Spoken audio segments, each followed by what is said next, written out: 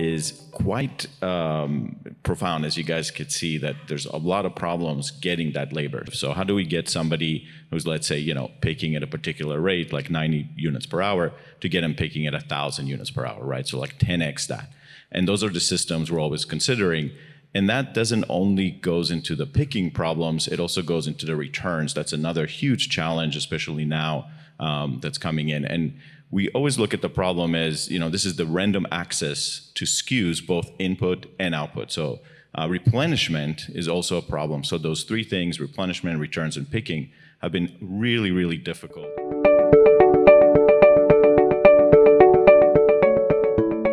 as that demand grew with COVID, and not only grew, it also had a spiraling effect because more and more people started ordering things online. Uh, a lot of retail stores, unfortunately, had to close, and that brought more and more of that demand into you know the e-commerce space. And a lot of our customers are really struggling to keep up with not just their demand, but also the shortage of labor, right? So now most people don't want to be personal shoppers for other people, so they don't last very long in the warehouse. They'll do this for a little while and they come out. So the question is, how do we now create this new world, right, where people can order things online, but not have to have armies of people having, you know, to run the back end and fulfill these right as quickly as possible. And that's where automations comes in.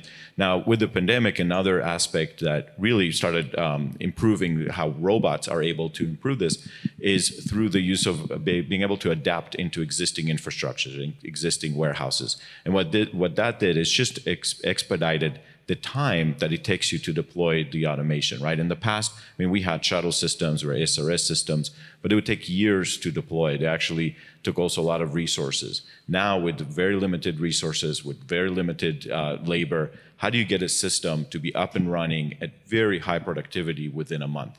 Um,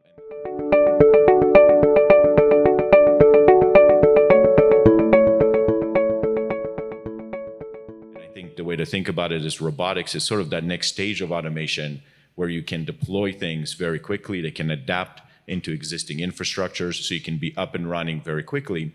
And then on top of it, changing the flow in real time is super important, right? So during, you know, from January to November, you might be picking at a particular uh, flow in a particular way. And then during peak, you might be picking at a completely different rate.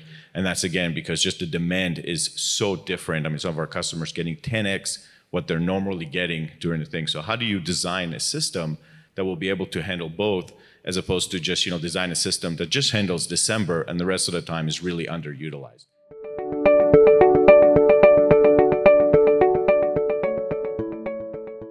In the past, you used to have to invest a lot of money, millions of dollars, tens, if not hundreds of millions of dollars in a particular automation. And if it didn't work, if it didn't do what you expected it to do, you're sort of stuck in there. Uh, instead, the way we positioned our company is we're actually, instead of even selling robots or leasing the robots, uh, we're selling the productivity of the robots. So we become in charge of how many robots we need to maintain there, um, making sure that the robots are as effective as possible. And we're really aligned with our customers because our customers, what they care about is how many orders am I getting out the door? And that's what we basically charge them on, is on that rate that it's going out. So I think that um, definitely aligns the incentives between the two and helps uh, both you know us and our customers to bring these systems into fruition, especially with some you know that we've talked to have been burnt in the past by very high expensive automation.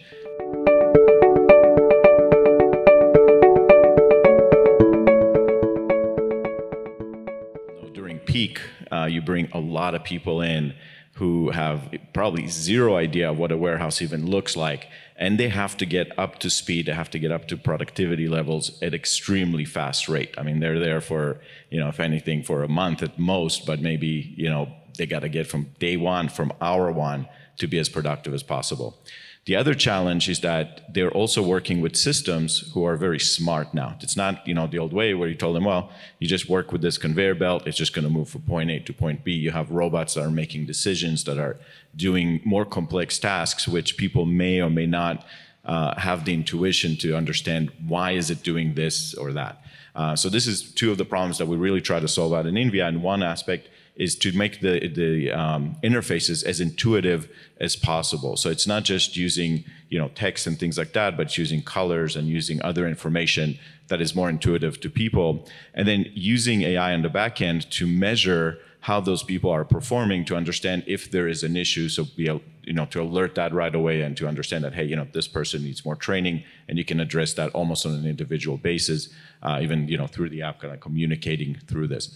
Um, so doing that, I think the you know the way we measure this is how do we bring a person using our system and get them to operate at full speed as quickly as possible, right? So all the interfaces, all the UI, UXs that we're developing uh, have to do with that aspect of it.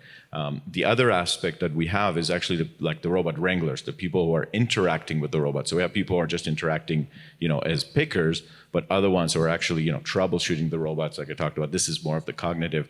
That takes a little bit more understanding. Um, luckily, again, a lot of the tools we're trying to create is you don't require a PhD in robotics to do this. So it's something that the warehouse manager uh, can do.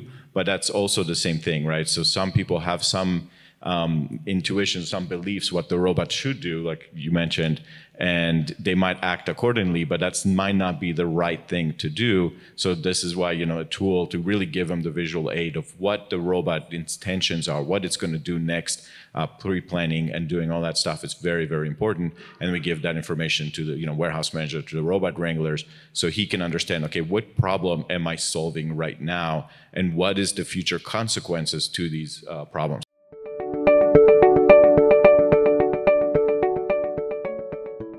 Um, I think fine manipulation is, is I mean, it, it's coming along quite well, and there are certain products that definitely fit to robot arms, but still, you know, being able to dig inside the tote and pick a small little items among other items is still very difficult. And it's difficult in two terms. One is just the technical challenges that it takes, but the other problem is the cost of them as well. So it's very difficult to justify. And if you build a million dollar robot that can do it, where you have other labor that can do it at, you know, at a cheaper rate. So you're really competing against that as well.